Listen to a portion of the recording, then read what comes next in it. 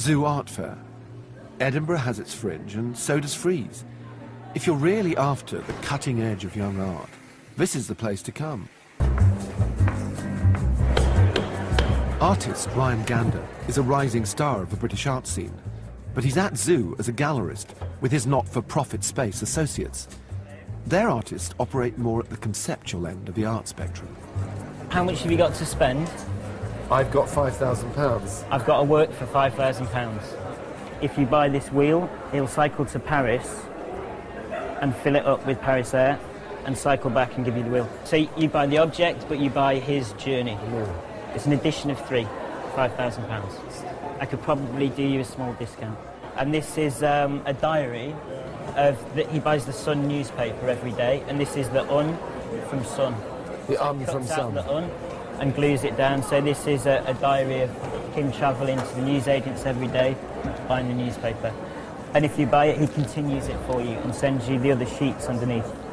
And inside here, there's um, page three girls that have been wrapped in doll's house paper.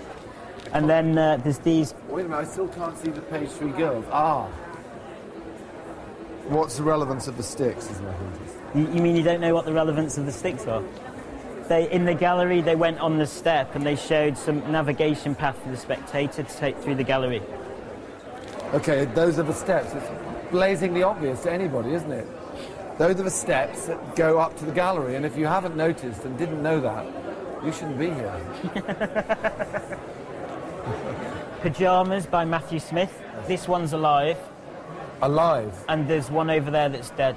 1,200 the pyjamas. He Did he make the pyjamas? No, he, he bought them in Selfridges. He bought, isn't that... I, I, Is that wrong? no, I, I don't There's think it's wrong. there's No, a, I'm not there's a going to be bit unsophisticated of about it. craftsmanship in the folding there. The folding, yeah. We have five knockers, door knockers, which is the shape of Freud's brain. That's Freud's This- brain, eh? Yeah, upside down. It looks like something um, significantly different. Although they provide a good mental workout, I'm not sure Ryan's conceptual chums are really for me. I make my excuses and leave in search of myself.